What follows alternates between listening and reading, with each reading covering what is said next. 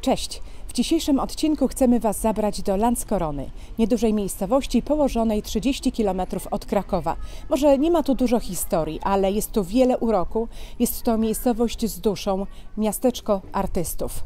Gotowi na odkrywanie uroków Landskorony? No to ruszamy.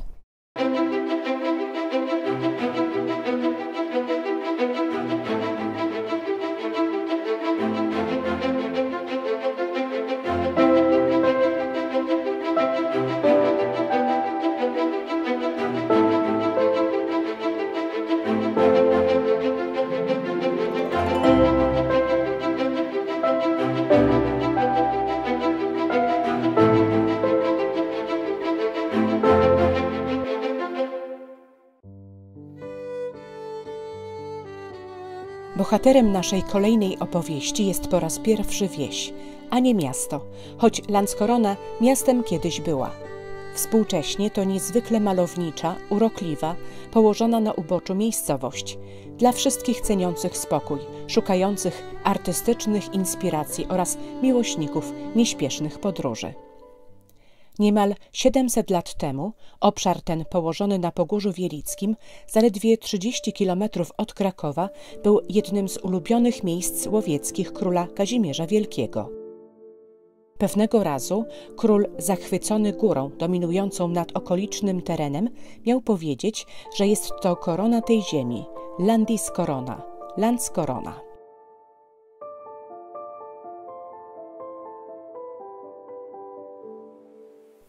Na zboczu tej góry istniała już od XIII wieku osada.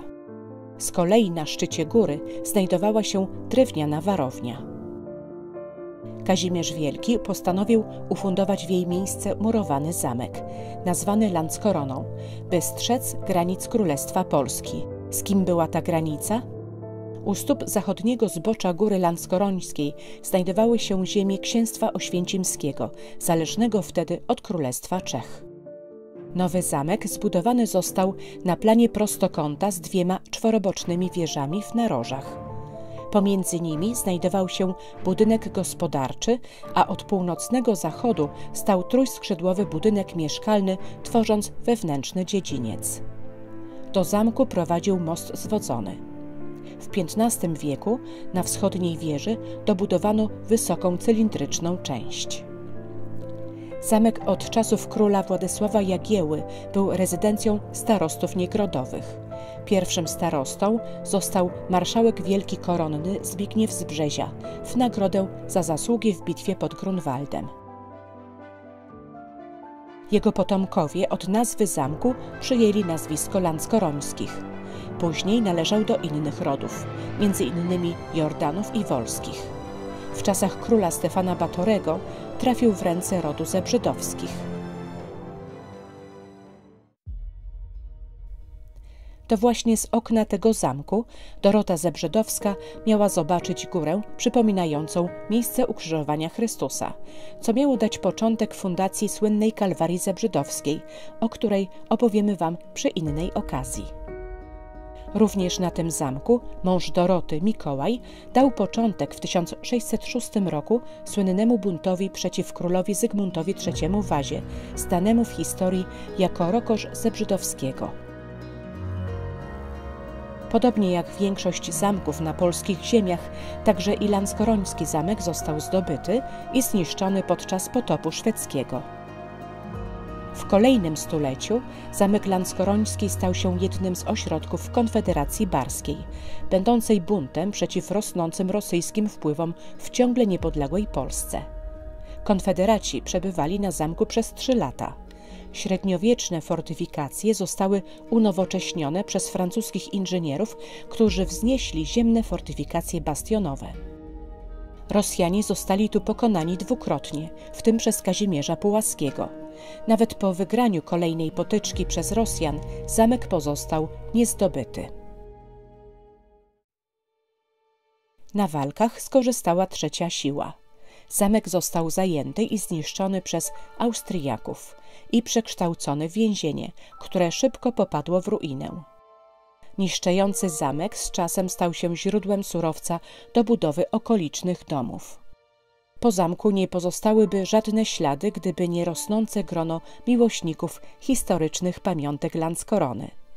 W 1999 roku ruiny zamku i góra zamkowa zostały umieszczone na liście Światowego Dziedzictwa UNESCO jako część kompleksu Kalwaria Krajobrazowy Zespół Manierystycznego Parku Pielgrzymkowego. Od wielu lat pojawiają się pomysły na zabezpieczenie zachowanych reliktów średniowiecznego zamku oraz odsłonięcie umocnień z czasów Konfederacji Barskiej. Jak dotąd nie zostały one zrealizowane ze względu na brak finansowego wsparcia takiego projektu. W 1366 roku, kilka lat po ukończeniu budowy zamku, osada położona na południowym zboczu góry Landskorońskiej uzyskała prawa miejskie od Kazimierza Wielkiego. Landskorona otrzymała liczne przywileje oraz identyczne prawa jak Kraków, a jej mieszkańcy mieli prawo handlu w Krakowie i innych miastach królewskich. Z tej epoki pochodzi liczący sobie 90 na 110 metrów rynek z ulicami wychodzącymi z jego naroży. Z 9,5% spadkiem jest jednym z najbardziej stromych rynków na ziemiach polskich. Zabudowa Landskorony była przeważnie drewniana. Wyjątkiem był kościół Narodzenia świętego Jana Chrzciciela, również ufundowany przez króla Kazimierza Wielkiego. Zniszczony przez Szwedów i Rosjan, wielokrotnie przebudowywany, przypomina gotycką świątynię jedynie swoją bryłą i planem. Początkowo posiadał drewnianą wieżę, zastąpioną obecną w XIX wieku. Czasy największej prosperity miasta to okres od XVI do połowy XVII wieku. W mieście odbywały się co roku dwa jarmarki oraz cotygodniowe targi. Kolejne stulecia to powolny upadek Landskorony jako miasta, zwieńczony utratą praw miejskich w 1934 roku. Do upadku doprowadziły zniszczenia podczas potopu szwedzkiego, rosyjskie walki z konfederatami, pożary oraz wytyczenie przez Austriaków nowego traktu z Wiednia do Lwowa omijającego Landskoronę, podobnie zresztą jak nowo zbudowana linia kolejowa. Ogromnym ciosem dla Landskorony był wielki pożar z 1869 roku. Jego przyczyną miało być podpalenie stodoły na plebanii z zemsty za mianowanie proboszczem przyjezdnego księdza. Wokół rynku i jego okolicy spłonęło 79 domów. Najstarsze domy, jakie zatem możemy podziwiać wokół rynku z charakterystycznymi podcieniami, powstały po pożarze. Zbudowano je jednak według wzorów sięgających XVI wieku. Tradycyjne drewniane domy landskorońskie mają szerokie podcienia, które chroniły towar przed złą pogodą. Szerokie bramy mieczowane prowadzą do sieni, gdzie niegdyś trzymano towar. Towar przechowywany był też w kamiennych piwnicach. Pomiędzy domami znajdowały się chronione przez okapy puste przestrzenie, tak zwane miedzuchy, gdzie niestety zalegał śnieg i błoto, powodując zawilgocenie ścian. A gdy miedzuch nie miał ogrodzenia, zalegali tam czasem pijacy. Domy te mają układ szczytowy, są kryte drewnianymi kątami. Z niszczycielskiego pożaru ocalał przy rynku jeden dom pod numerem 23, będący od ponad 50 lat Muzeum imienia Antoniego Krajewskiego. W skład zbiorów placówki wchodzą eksponaty z wykopalisk na terenie zamku oraz przedmioty codziennego użytku i rękodzieła ludowego tutejszych mieszkańców, pochodzące z początku XX wieku. Muzeum upamiętnia Antoniego Krajewskiego, literata, nauczyciela, współzałożyciela Towarzystwa Przyjaciół Landskorony, które m.in. uratowało od dalszej dewastacji ruiny zamku i przyczyniło się do zachowania niezwykłego charakteru Landskorony. Antoni Krajewski przyjechał do miasteczka na początku lat 60. w celach rekreacyjnych. Nie był on pierwszym przyjezdnym, który oczarował się Landskoroną. U schyłku XIX wieku do Landskorony przyjechał też Józef Lorenz, by objąć posadę nauczyciela.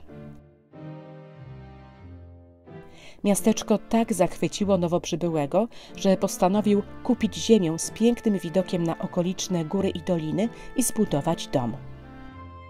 Poza działalnością społecznikowską, wraz ze swoją żoną udostępniał pokoje gościnne na poddaszu. Były to czasy, kiedy uroki Landskorony zachwycały coraz więcej tak zwanych powietrzników, czyli ludzi przyjeżdżających zażywać świeżego powietrza. Ten rozwijający się trend próbowały wykorzystać władze miasteczka, by uchronić je przed postępującym upadkiem. Niestety, apel do Sejmu o utworzenie letniska upadł. Kilkanaście lat później Landskorona utraciła prawa miejskie ale popularność miejscowości jako miejsca wypoczynku rosła. Józef Lorenz w 1921 roku zbudował pierwszą drewnianą willę Zamek. Syn Józefa, Tadeusz, trzy lata później uruchomił pierwszy pensjonat, willę Tadeusz. Niedługo po nim powstały kolejne, jak Gąsiorówka, Widok, Willa Róż, Przedwiośnie. Część z nich stoi po dziś dzień, jak bajka – po innych, jak Villa Róż, pozostały tylko zdjęcia i malownicza aleja prowadząca do miejsca, gdzie stała willa. Spośród tych wszystkich pensjonatów szczególnie wyróżnia się najstarszy, który w przyszłym roku będzie obchodzić stulecie nieprzerwanej działalności. To wspomniana już Villa Tadeusz. Tadeusz Lorenz były legionista stworzył pensjonat, który często podejmował znamienitych gości, jak generał Józef Haller, minister Józef Beck czy przyjaciółka i zaufana Józefa Piłsudskiego Ludmiła Modzelewska. Po dziś dzień w willi pozostały pamiątki, wystrój i klimat okresu międzywojennego.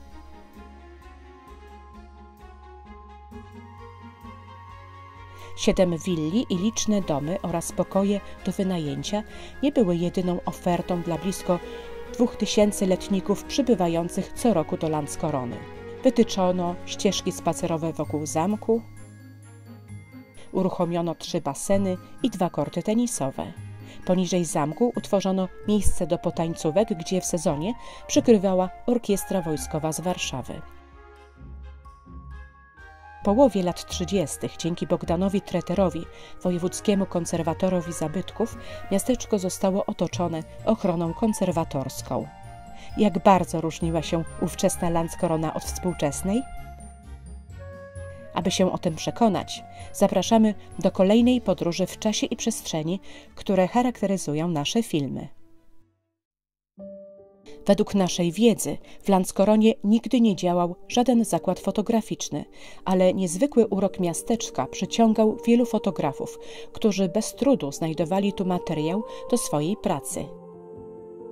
Jednym z nich był pochodzący z Warszawy Henryk Poddębski i chociaż miał swój zakład fotograficzny przy ulicy Marszałkowskiej, znany był głównie jako twórca fotografii dokumentalnej, krajobrazowej, krajoznawczej i pejzażowej.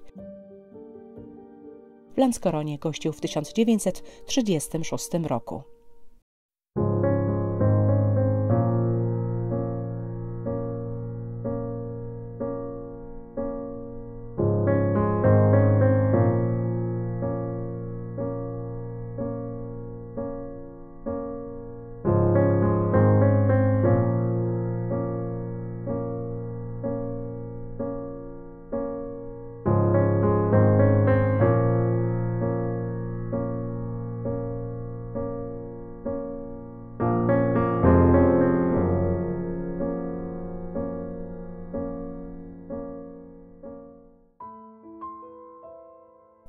Trzy lata po pobycie Henryka Poddębskiego wybuchła wojna. Niemcy starali się stworzyć z Landskorony swoje letnisko. Pensjonaty zmieniały nazwy na niemieckie. Gospodarze willi Tadeusz byli zmuszeni przyjmować niemieckich gości, ale w tym samym czasie piętro wyżej gościli uciekinierów z powstania warszawskiego. Gdy przez Landskoronę przeszedł front, willa gościła marszałka Koniewa z jego sztabem. Po tragicznej śmierci Tadeusza Lorenza w czasie wojny, jego syn Tadeusz Junior z fantazją i uporem zdołał w okresie powojennym utrzymać pensjonat w rękach rodziny. O tym, jak był nietuzinkową postacią, świadczy fakt, że w wieku 14 lat sam skonstruował szybowiec, którym wykonał lot oraz zbudował zachowany do dziś samochód z drewnianą karoserią własnego projektu. Auto to po dziś dzień jest na chodzie i posiada ciągle ważną, próbną tablicę rejestracyjną. Lata 60. to ponowne odkrywanie Landskorony, do której zaczyna przybywać coraz więcej artystów, malarzy, muzyków, filmowców, ludzi świata teatru. Jednym z ich ulubionych miejsc była i jest Willa Tadeusz, którą obecnie prowadzi pani Alicja Lorenz-Łomnicka, przedstawicielka czwartego pokolenia rodziny w Landskoronie. Kto znany w niej gościł? Lista jest tak długa, że wymienienie wszystkich trwałoby dłużej niż nasz film, ale wymieńmy chociaż kilka nazwisk. Barbara Kraftówna, Roman Wilhelmi, Adam Łapicki, Anna Seniuk, Anna Polony, Sławomir Mrożek, Wisława Szymborska, Jerzy Nowosielski, Andrzej Wajda, Jadwiga Barańska, Jerzy Antczak, Ewa Bem. Landskorona ze swoim magicznym klimatem była miejscem, gdzie Konrad Swinarski obmyślał dziady, Andrzej Wajda przygotowywał się do wesela, a Marek Grechuta znalazł inspirację do piosenki o Landskoronie. Landskorona, Landskorona, rozłożona gdzie osłona od spiekoty i od deszczu, od tupotu szybkich spraw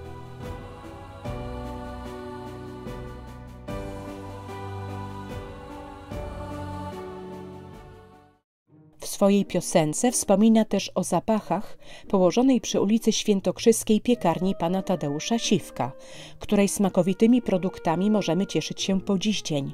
Nie omieszkaliśmy i my spróbować tych doskonałych wypieków.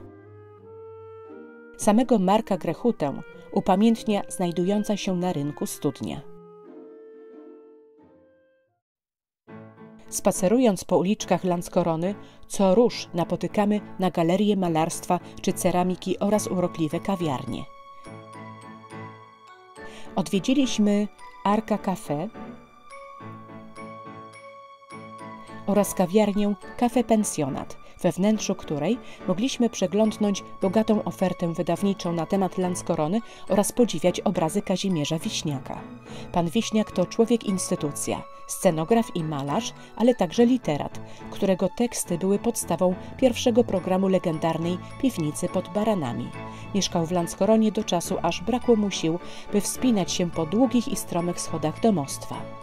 Nadal jednak działa w towarzystwie przyjaciół Landskorony i wydaje kwartalnik Kurier Landskoroński, za co otrzymał tytuł honorowego obywatela i nie mniej zaszczytne miano pierwszego anioła Landskorony.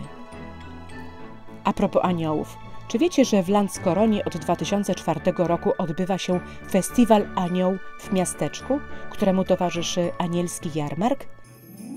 Warto tu się wybrać w pierwszy weekend po Mikołaju. Wówczas to do Landskorony zlatują anioły z różnych stron świata, by dobrze się bawić i pomagać potrzebującym. Jednym z najważniejszych momentów festiwalu jest uroczyste nadanie tytułu Anioła Landskorony. Jest on przyznawany tym osobom, które pokochały Landskoronę, noszą w sercu jej dobre imię i urok, głoszą światu poprzez swoje czyny i dzieła, pamiętając o niej nawet wtedy, gdy są daleko.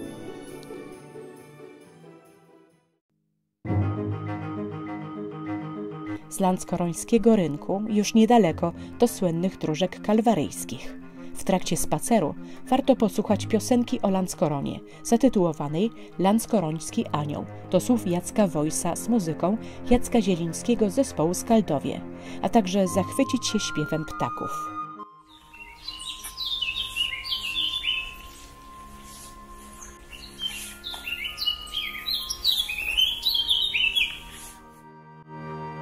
Do Landskorony na pewno wrócimy zimą na festiwal Anioł w miasteczku. A wy? Jeśli interesują Cię podróże po Polsce z małą dawką wiedzy historycznej, czyli podróże w czasie i przestrzeni, to zasubskrybuj nasz kanał i włącz dzwonek z powiadomieniami o następnym filmie. Do zobaczenia w Landskoronie.